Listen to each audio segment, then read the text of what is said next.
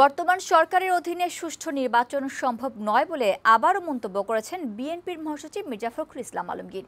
সাবেক রাষ্ট্রপতি ও বিএনপির প্রতিষ্ঠাতা জিয়াউর রহমানের বিয়াল্লিশতম মৃত্যুবার্ষিকী উপলক্ষে ঢাকা রিপোর্টার্স ইউনিটিতে আয়োজিত এক অনুষ্ঠানে অংশ নিয়ে তিনি একথা বলেন।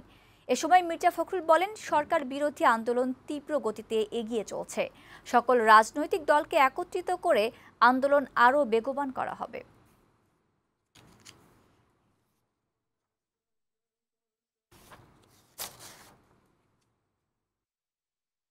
গত কয়েক বছর ধরে এই গণতন্ত্রকে ফিরে আনার জন্য এই বাংলাদেশের মানুষ যে সংগ্রাম, যে লড়াই শুরু করেছে, এই লড়াই এখন তীব্র গতিতে তার চূড়ান্ত পরিণতির দিকে যাচ্ছে।